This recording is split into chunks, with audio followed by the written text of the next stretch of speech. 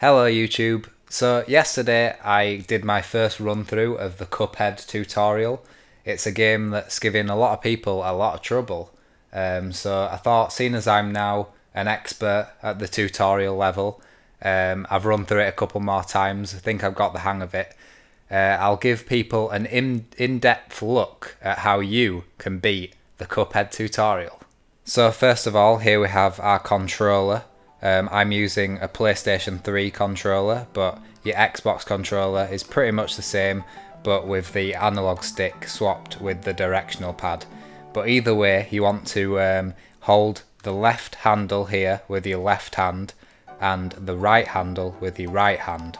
As a general rule, your left thumb should be used for the D-pad and the left analog stick. Your right thumb, the right analog stick, and these buttons.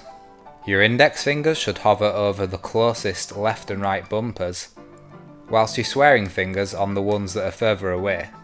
Now what may have been confusing to some is that the first part of the tutorial doesn't show you the buttons you need to use to move the character, so I'm going to reveal that secret right now. What I referred to before as the D-pad actually stands for directional pad, and the left and right buttons usually would move the character left or right. So here I am, moving this character, I don't know the name of the character, but I'm moving them left and right with my thumb by hitting the left and right buttons on the D-pad. And you can also use the analog stick in the same way by moving it left and right.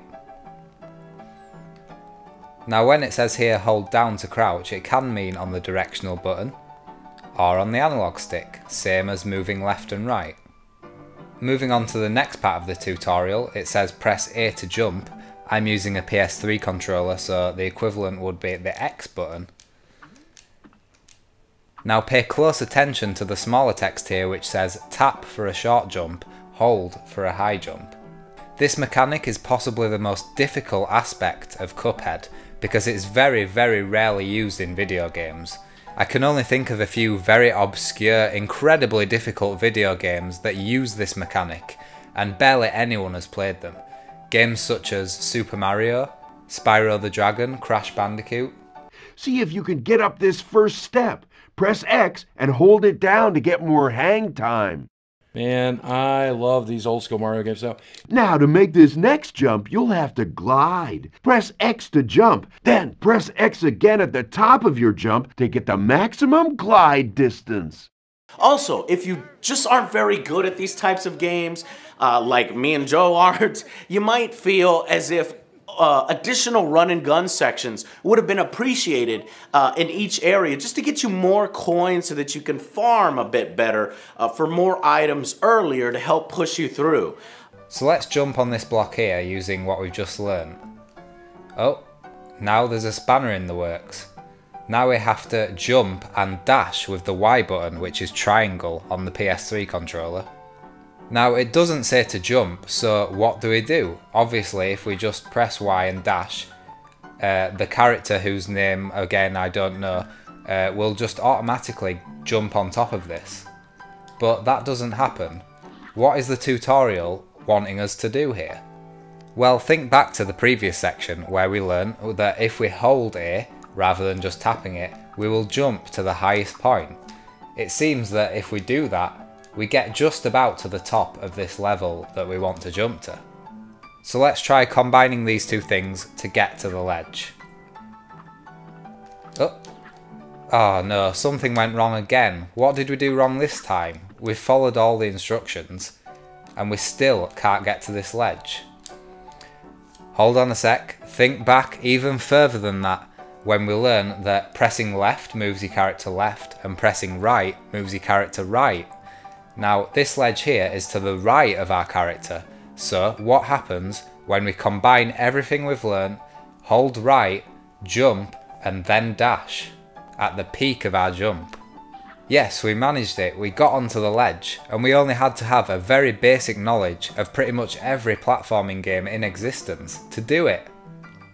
The next part of the tutorial is quite easy, it gives you the answer right there. Press down and A. Make sure not to press A and then down, that won't work. Next we learn that X is shoot, which is square on the PS3 controller. Now here's another tricky one, and we need to remember again that right moves your character right. So after jumping we can jump again and we kind of bounce off these pink objects. So let's try holding right after we've bounced off the first object. Try not to hold right too soon to avoid going past it. And by doing that we manage to get onto the next platform. Handily, this also shows us how to do the next part of the tutorial, which is the same thing, we just jump onto this ghost and press the jump button again. From here on out, the tutorial gets slightly easier, though still quite tough. What we have to do next is press the B button, which is circle on the PS3 controller. And that does a super move. Be careful though, as it says in the tutorial, you need to have a super meter card to be able to do this. If you don't know, those are the things that look like cards in the bottom left. So we have three cards here. How many super moves does that mean we get? One, two, three. And we've run out. So three cards equals three super moves. By now you should have learned everything you need to know to jump over the final block and move through this door. Now, how do we get through this door? Um, crap. Seriously, how do I do this? How do I get through this door? I don't... I don't get it. I'm pressing everything here, I'm not getting through the door. What is going on? This game is far too difficult.